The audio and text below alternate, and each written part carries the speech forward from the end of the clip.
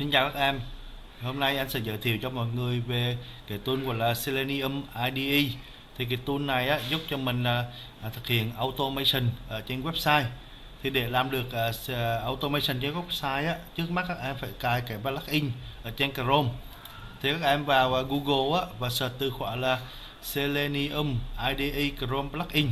Lúc đó nó sẽ ra cái trang là Google Selenium IDE ở chỗ Google này nè mình sẽ cài cái plugin này vào à, trong cái Chrome.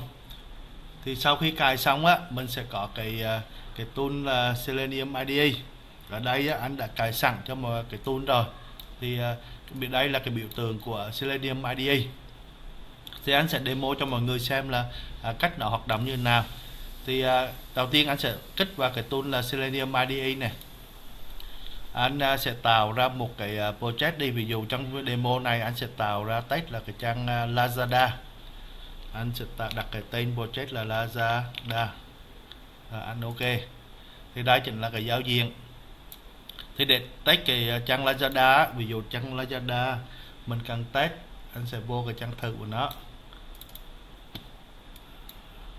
Là lazada.vn à, đây là trang Lazada mà mình sẽ thực hiện automation. Thì đầu tiên anh sẽ copy cái cái cái cái link này. Anh sẽ dạng vào cái à, cái web dạng vào đây. Đây là link. Thì để thực hiện automation test á, việc đầu tiên á, mình sẽ bấm cái red này này khi bấm cái red này á, nó sẽ mở cái website lên và mình thực hiện các thao tác. Thì anh thu nhỏ cái này là cho dễ làm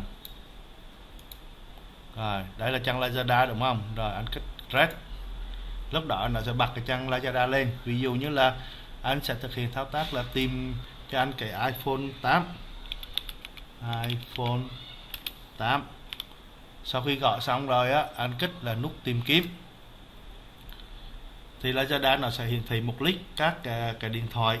Chỗ này á anh sẽ verify xem là có cái iPhone 14 Max xuất hiện hay không thì anh chụp phải bôi đen chụp phải cái cái, cái dòng chữ này nè. Sau đó anh lên vào CLM IDE sau đó là anh verify xem là có dòng chữ đó không.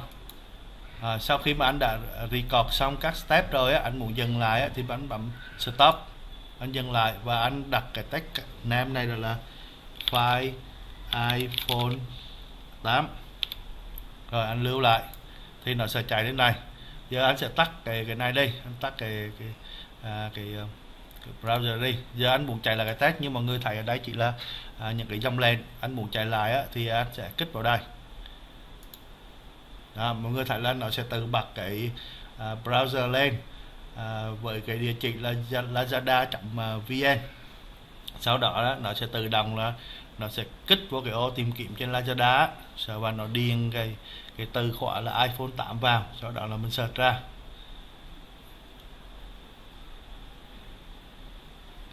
À, mình cỡ vào iPhone 8 này bắt đầu nó ra sau đó là mình kiểm tra cái uh, có cái chữ là iPhone Pro Max trên cái website của mình hay không. Nếu á, mà có chữ là iPhone Pro Max hàng chính hãng VNA trên cái website này á thì là trái cây mình là bắt. À, như vậy là bát bát thì mọi người sẽ thấy là à, mấy cái tích này là là xanh hết. Đồng thời á ở giữa cái lock á nó sẽ ghi là à, uh, complete successful có nghĩa là test cây của mình đã chạy thành công. Rồi à, đây đó là cái ví dụ anh sẽ demo cho mọi người. À, tiếp theo anh sẽ giới thiệu cho mọi người là à, các cái à, cái tính năng ở trên này. Tính năng đầu tiên là tính năng debug. Rồi nếu mọi người thấy là đây là à, tất cả các step để chạy cái à, cái tách cây là tìm iPhone 8 như ra. Giờ anh muốn debug ở đây thì anh sẽ kích vô cái dòng số 3 click vào dòng số 3 thì mọi người thấy á cái nút này á chính là nút đi bất. Đi bất có nghĩa tới đây nó sẽ dừng lại. À, để mình kiểm tra mình kiểm tra ok xong á mình sẽ chạy tiếp. Thì kích dấu kích này á dùng để debug đây anh sẽ chạy nè anh sẽ chạy lại. Đó, đầu. Đó, mọi người tại đây á, mọi người thấy không? Tới dòng thứ thứ ba này kích vào cái chỗ tìm kiếm này á thì nó sẽ dừng lại đây nó đang bao nè. Để để tiếp tục á, thì mình sẽ kích cái nút uh, step over này cái mũi tên đi xuống này. Kết tiếp. Đi bất dùng để mình là mình uh, kiểm tra lại xem mọi cái tab nó hoạt động hay không.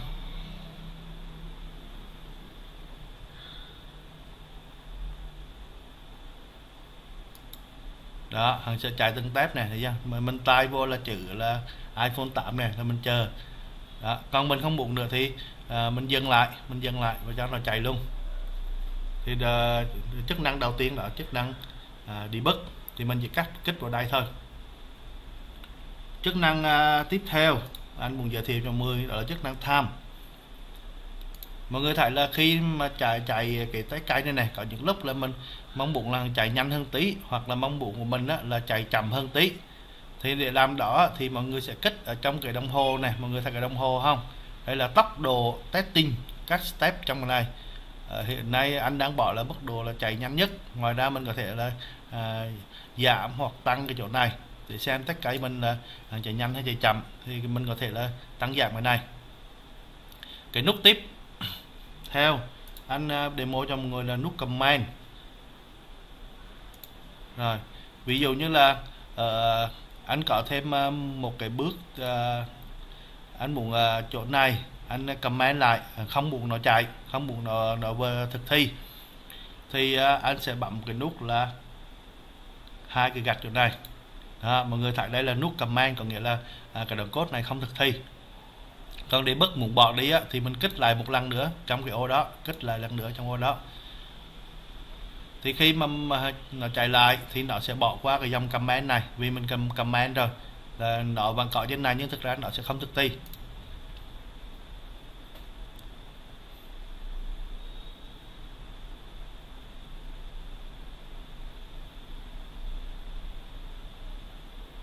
Rồi lúc này á là nó kích của cái ô search này.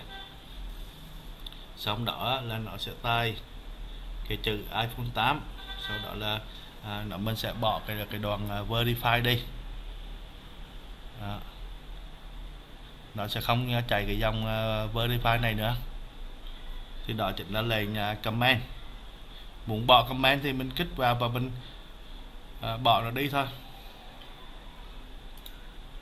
Chức năng tiếp theo là continue execute test case. Có nghĩa là um, mình à, chạy tới đây rồi nhưng mà giờ mình muốn à, thực thi tiếp các bước tiếp theo. Mọi người thấy là ở chỗ tách test verify này á là nó, nó, nó, nó không làm giờ mình enable lên để cho nó thực hiện.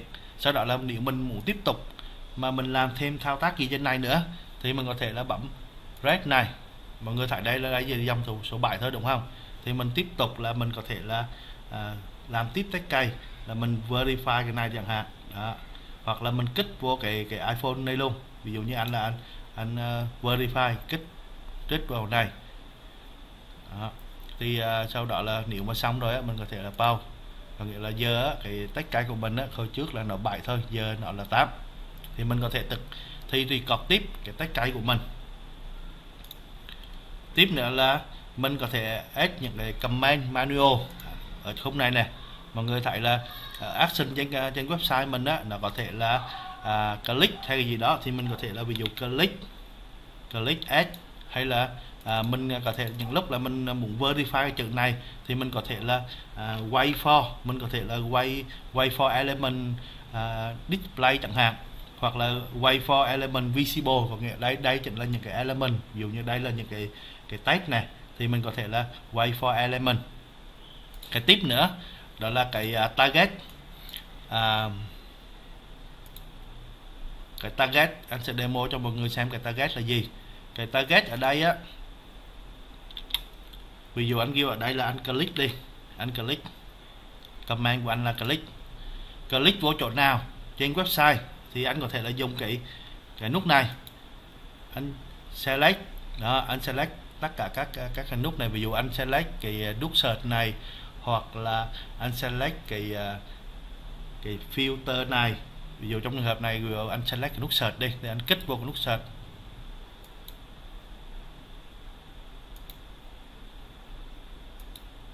Đó ví dụ anh select kích vô cái nút uh, nút search trên này thì nó sẽ sẽ select cho anh. À, tiếp nữa cái uh, anh đi qua cái tiếp theo đó là cái value gọi là giá trị. Nhưng mọi người thấy là khi mà anh kích vô nút search này anh điền vô chữ uh, iPhone 8 á thì à, cái chỗ iPhone 8 ở đây này. Đây mọi người thấy không? Đây là value iPhone 8 ví dụ anh không thích anh đổi qua là iPhone 9 thì đây là nơi mà mình điền cái giá trị của cái đối tượng mà mình cần tách vào. Thì khi nó chạy nó sẽ điền chữ iPhone 9 thay vì là nó điền chữ iPhone 8 thì uh, tiếp theo là anh giới thiệu cái cái phần ở dưới này. Cái phần ở dưới này chính là phần lock ở đây mọi người sẽ xem được là à, những cái mà à, các bước mà mà nó sẽ tài ví dụ như trong cái của anh hồi nãy là mình có 7 bước thì bước đầu tiên là nó open cái website nè à, ok nè sau đó là nó à, điều chỉnh cái à, cái size của cái website này sau đó là nó kích vào cái cái auto này. nè thì đây là chính là cái các bước mà mình làm ở trên này thì nó sẽ lắp lại những cái bước nào ok không ok tiếp nữa là cái cái reference đó, ở đây á nó sẽ à, diễn giả cho mình. Cái ví dụ cái, cái click này có nghĩa là gì? Click là mình sẽ chọn là à, target cái element của mình có nghĩa là mình click vào gì? Vì hàng bị giải thích cho mình là ví dụ là click vào cái link hay click vào cái nút button hay cái click vào nút là checkbox hay là à, click vào radio button. Đó. À, còn ở đây cái cái nút này có nghĩa là ví dụ như mình có nhiều cái cái check cái breakpoint này mình muốn bỏ thì mình kích vào đây mình bỏ mình bỏ hết cái cái breakpoint ở này. Đó mọi người thấy không? Đó anh anh có đây là bốn cái uh, lúc debug á anh có bốn cái debug thì anh có thể là disable một lúc bốn à, ba ba cái debug ở đây. Sau khi mình à, làm xong á à, test xong á mình có thể là lưu lại ở đây là mình mình lưu lại. Ví dụ anh uh, lưu lại ở D à, cái dạng là Lazada thì cái cái cái cái cái file này á tệp hẳn là cái file là SIDE thì mình lưu lại. Đó, sau này á mình mở thì mình open nó lên thôi thì mình sẽ mở ra. Đây đây là, là sẽ lưu là, là uh, Lazada chậm sai sai là cái đuôi của nó. À, cái tiếp theo thì uh, ở đây á là mọi người thấy là mình sử dụng cái à, cái uh, cái giao diện này mình sử dụng cái cái cái các cái bước này bằng à, cái bằng cách là kích vào những cái à, element trên website. Ngoài ra mình có thể là export cái này á ra một cái ngôn ngữ Java hoặc là C Sharp hoặc là uh, JavaScript hay Python. Ví dụ anh export thử một cái này à, hình như nó mới chờ chờ tí nó missing một số cái này. À đây á nếu ví dụ như ở đây á, mình muốn bỏ cái này đi á, thì mình kích vào mình delete đi.